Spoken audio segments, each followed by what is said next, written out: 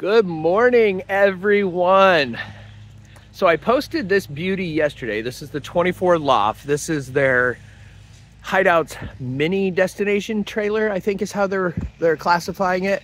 But I posted a picture of it and asked if you guys wanted a video. It seemed like a resounding yes. So here we go. Now, I do want to preface this by saying that Keystone themselves do not have a lot of information up on their site about the details of the floor plan, like the the nuts and bolts. So I'm not going to be able to get into a lot of that with you today, but I think you're mainly wanting to see the interior and cover some of the exterior.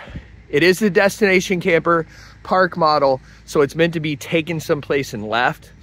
That being said, it is only 7,200 pounds, so it is on the light side for such a big camper if you're looking to uh, tow it to your destination. So we're looking at the rear entry here, which we'll come back to. Uh, I also want to say it's dirty. We just got it. Uh, we'll have it washed and cleaned and beautified here soon, I promise. So ignore the dirt.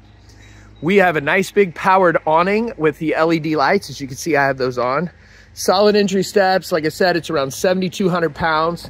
It does come with the SolarFlex 220 package, so it does already have solar panel panel up on the roof. You have power stabilizer jacks, power tongue jacks, dual propane bottles, of course. Over here, we have our tankless water heater, which is fantastic. Love this MaxxAir vent or MaxxAir fan. I'll show you that on the inside. I saw that earlier. Controls for your inverter, solar disconnect, nothing too crazy. Outside shower, you've got your city water connections, your freshwater connections. Let's go ahead and start on the back. So if we come up on the porch, it is kid and pet friendly. I like how they've done these bars on here. LED lights up here so you can sit back here. You even have the ability to, uh, this is uh, this will run off your solar, but you have the ability to have a TV out here if you want, which is really cool. Big, big sliding glass doors. It does come with a screen. They always put it here like this for transit. As we come into the space, we do have our jackknife sofa, so this will turn into a bed to give you additional sleeping options. Couple of seats over here. A cool little table desk. So you've got a pull-out uh, desk. Uh, you can also match or set your. Does that pull out? Yeah, yeah, yeah, yeah. I can't get a hold of it with both hands, but as you see, those legs move out. So you can pull that out to make a workable desk. You've got a place to set your TV to watch a TV in here.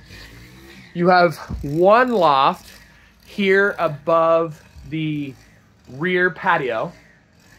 Let me move this chair out of the way and I will climb up there and show it to you. So a really large loft up here. You've got a ceiling vent right there. Um, nice big bed. You have power. USB, some storage space over there. So there's one of your lofts. Then your main loft, check this out. Love the spiral staircase they're doing on these. This is awesome. So not only do you have a ton of storage space up here, you've got, or yeah, storage space over there. You've got plenty of height. I'm six foot. I have no problem with height up here. Room for a bigger bed if you want one, but check it out. You actually have a fireplace up here in the loft. Um, very, very cool. Also a place over there on that wall to mount a TV. So you could actually lay up here in your loft with the fireplace on. Oh, you don't have to turn the heat on either. You can actually just turn the lights on. So if you just want it for ambiance, you can. Uh, and watch TV from here in your loft. And you've got this cool view here. Very cool. Uh, kitchen.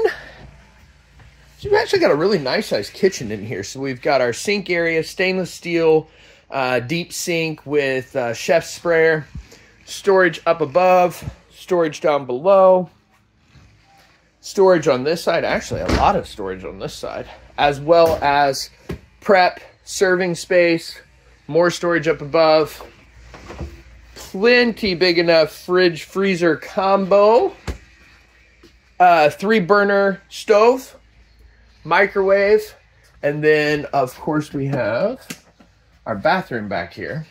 So I was talking about that MaxxAir fan. I think this is really cool. This is the fan right here that you saw right there. And it's properly located. But no, not only is that going to pull out the stink, it'll also pull out the steam when you're in here taking a shower. So that's nice. Lots and lots and lots of cabinets in here for your towels and toiletries.